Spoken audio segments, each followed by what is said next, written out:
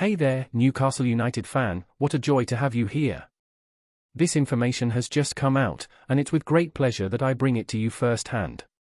If you're eager to stay updated on everything happening with Newcastle United, don't waste any time and subscribe right now to always stay in the loop about the club. Did you do it? Alright, then let's get to the news. The 27 year old player has just been introduced as a left back, and Dan Burn is returning to the central defence forming a partnership with Fabian Schär. The player had been searching for his spot since stepping away from the starting lineup almost 12 months ago. So, are you watching this news and haven't hit the like button yet? Go ahead and click that like button so that YouTube keeps recommending you the latest updates about Newcastle United. According to Craig Hope from the Daily Mail, there's interest from league rivals like Forest and Fulham for Targett.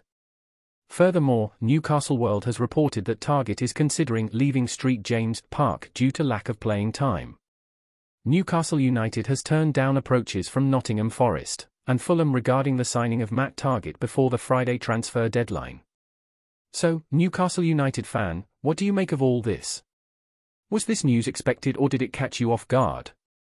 Share your thoughts in the comments, I'd love to know what you think. And stay tuned to the channel because I'm always bringing you the latest updates about Newcastle United. Don't waste any time and subscribe so you don't miss out on anything.